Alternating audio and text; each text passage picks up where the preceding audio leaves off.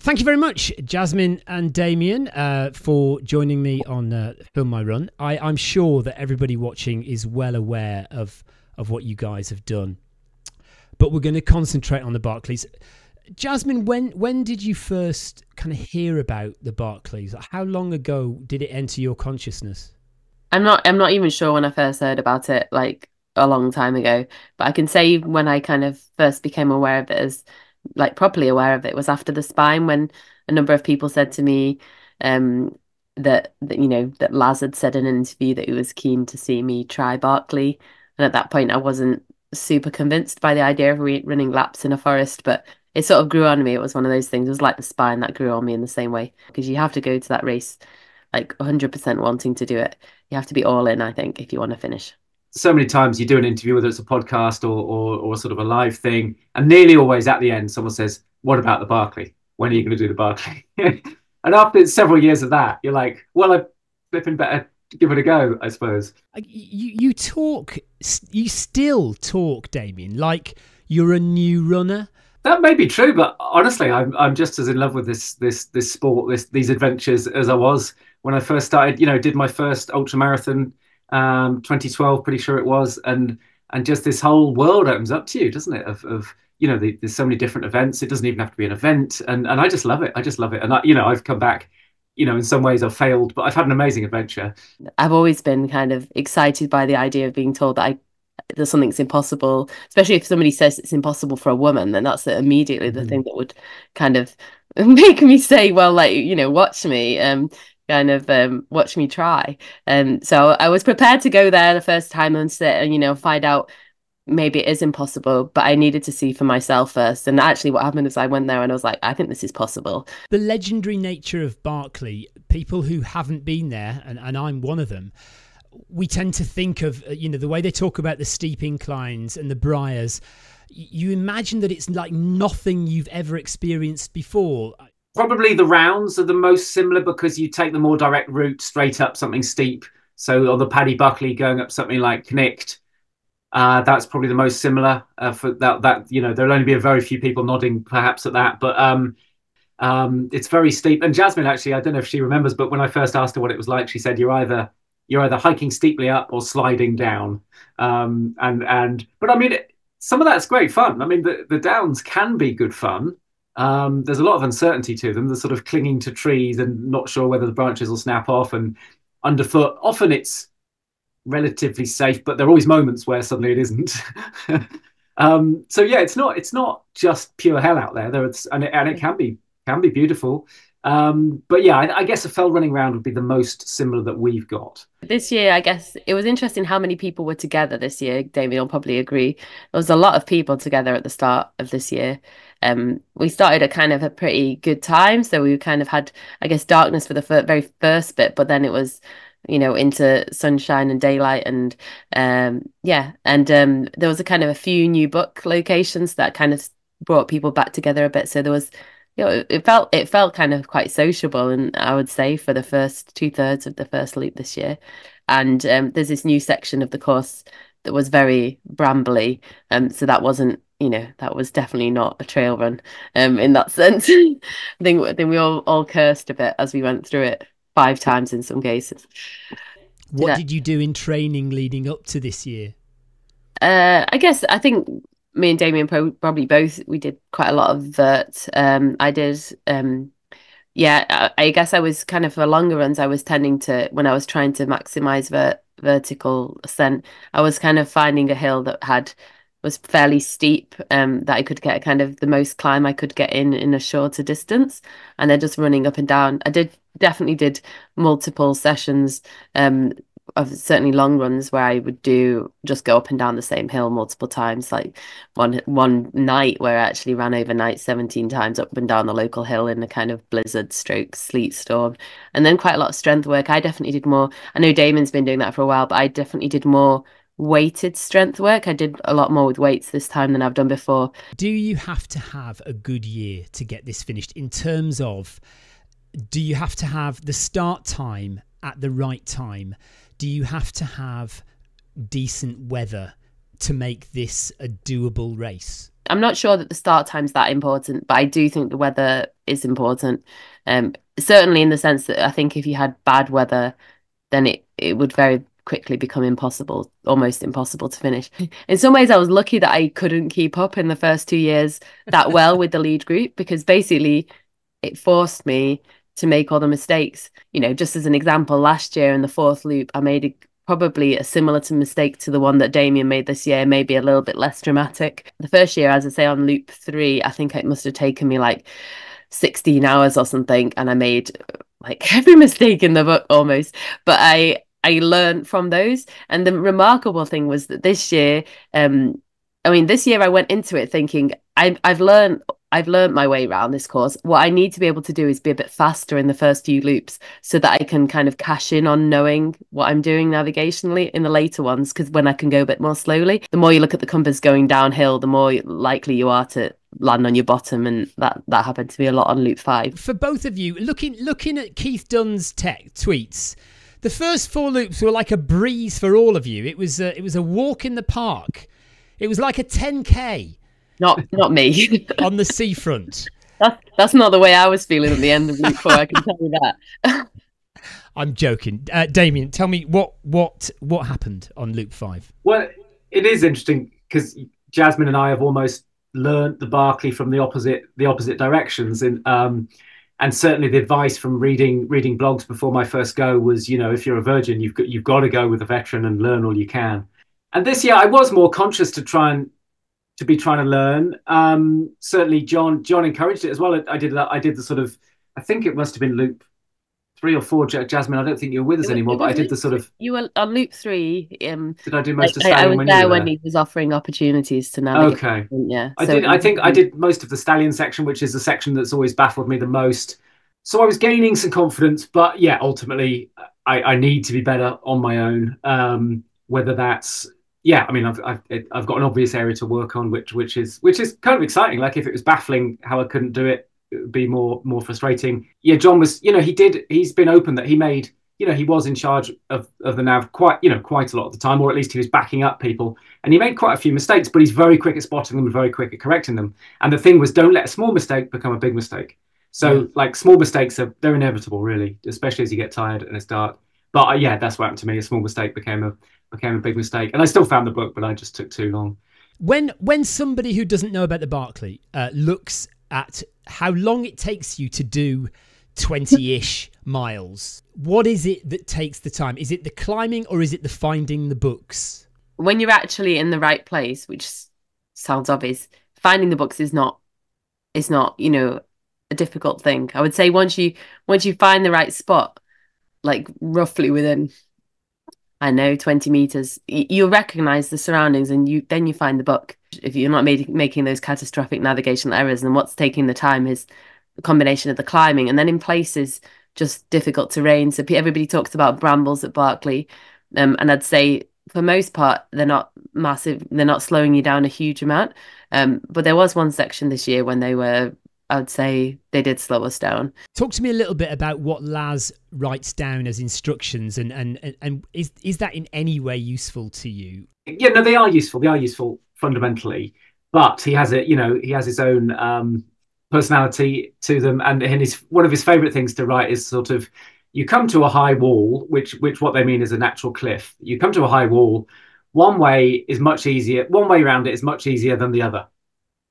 Full stop and then he doesn't he doesn't say which way. It's up to you. To yeah, he used to encourage you to sit down and admire the view, and so it, there's full of it's full of humor, but it is yeah, it is mostly helpful. Some of it's so kind of detailed for a short section has so many things that there's no way that you can remember it possibly, and you've not got time to read it when you're out there. I mean, you're like holding both poles and breathing hard and there's no way that you're you might look at a compass but you're not going to be reading those kind of dense instructions so it's the another one of the ironies of barkley you need to have been there before you can understand mm. the instructions what was your general uh, food of choice going round both of you the first two loops were good and i actually even ate all my food i think on loop two damian gave me a a Kit Kat, um, which I was very grateful for. Sometime I think it was on loop at the end of loop two, um, so like I had a mixture of you know, I had pizza, I had some frittata, which I'd made, which actually worked pretty well earlier on because I could, it was fairly easy to eat. Um, I had some, yeah, pizza, frittata. I had cheese and marmite, um, cheese and pickle sandwiches. I had, uh, and then flapjack, homemade flapjack. I had like Snickers bars, some sweets, and kind of saved gels for when I needed them. Think those were and some trail mix, um, those sorts of things. Um, I'd just say that like as time went on, I, I struggled more to eat things.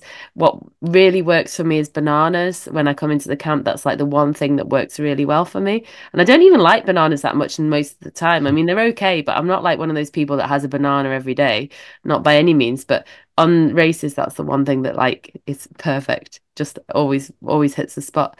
Um, so, um, and in camp, I kind of had things like had some rice pudding, porridge, pasta, um, yeah, those sorts of things.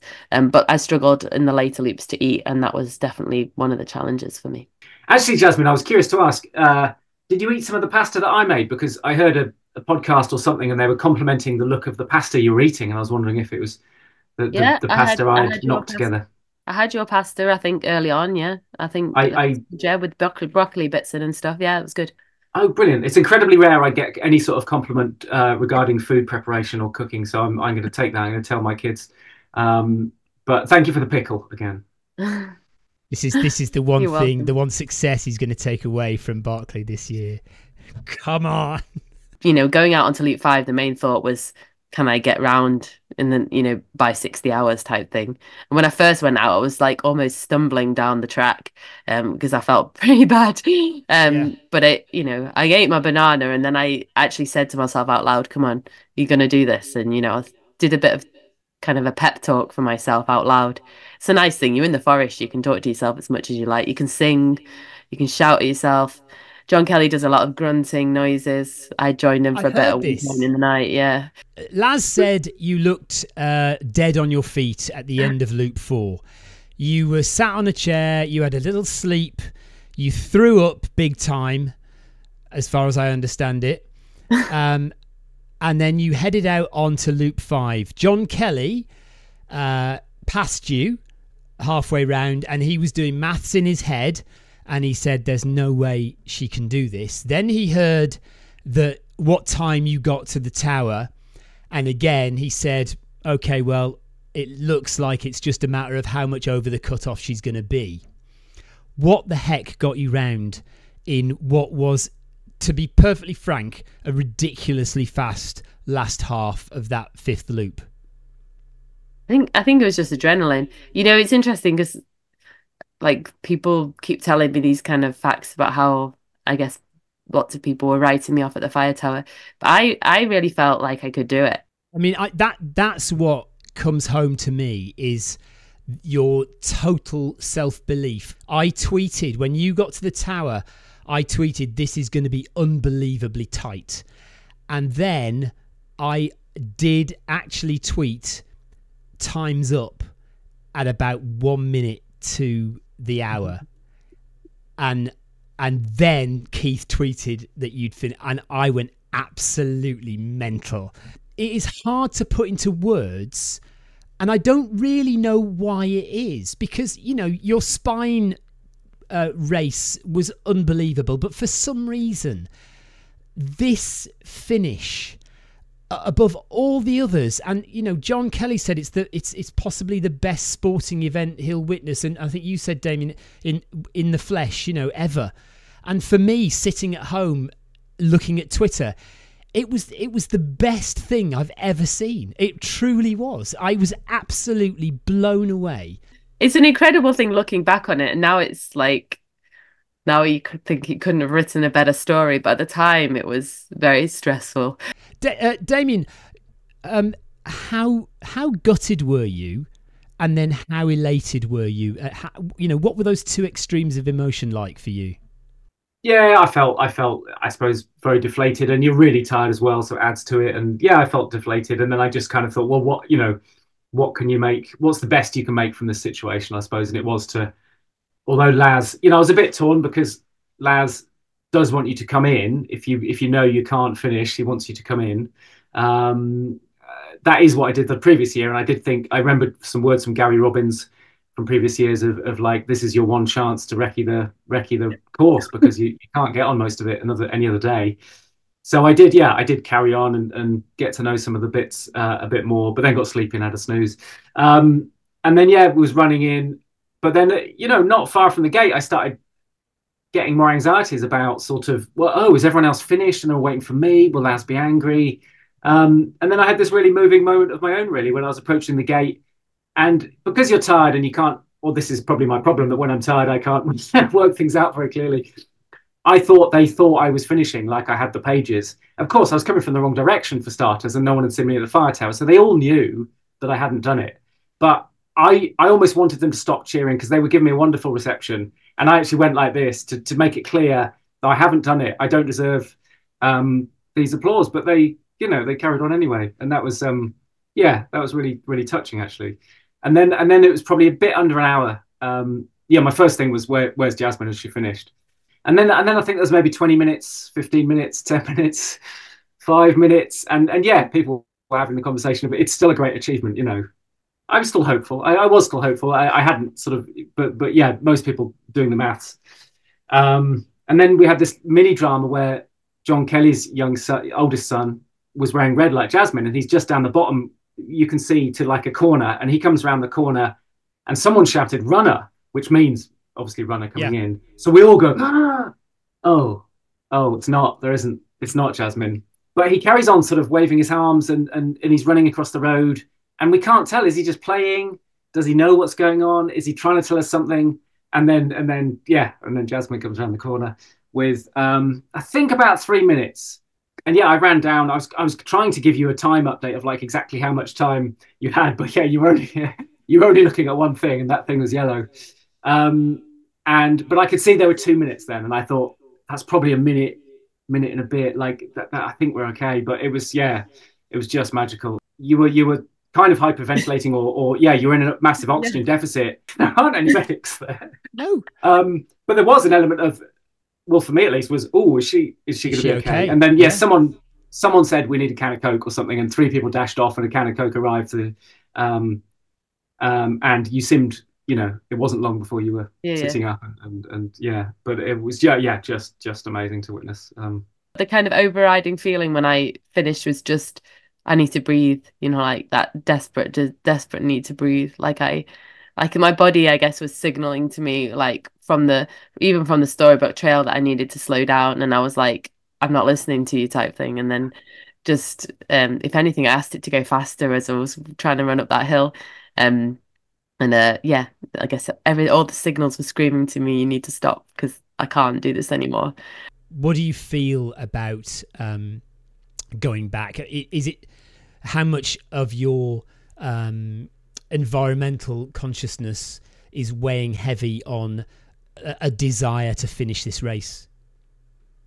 Yeah, I mean, I was hoping that would be sort of an added uh, motivational element to you know sort of focus me at the in the moments of of of you know this means it's it's um yeah financial cost and an environmental cost and all but also you know to some people a reputational cost as well of of um or, or, at least because of my connection to the green runners um um so i was hoping that would make spur me on to you know get it done this year so you're not flying next year um i mean similar to jasmin i yeah i've pledged to you know only fly once a year maximum i can't think at the moment i have to be careful how i phrase this i can't think of anything else that i would fly for you know, I've started a petition. I have seen that. Yes, thank you. Um, yeah, I feel I feel like I'm getting far too much attention for the for the for everything, far too much praise. Um, but yeah, I saw that. Um, um, yeah, I was very touched by all the people uh, that signed. Well, listen, you know, I, I I'm I'm not. It's not necessarily about giving you, you know, a glitzy night out at an awards ceremony but I, you know, um, hopefully it's again, it's it's spreading to to some people who may not be aware of of what you've achieved um, the the message that you know if you challenge yourself you can do these things and i know that you know um, we haven't really spoken about it today but empowering women to get out there stand on the start line of, of ultra races and, and, and do things that they perhaps were afraid of doing perhaps didn't think that they were worthy of of participating in and getting out there and, and achieving stuff they didn't think they could.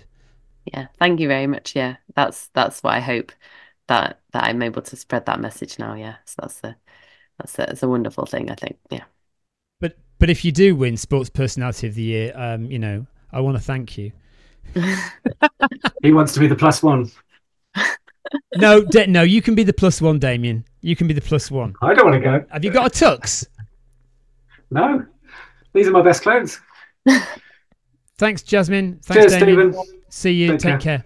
Bye bye.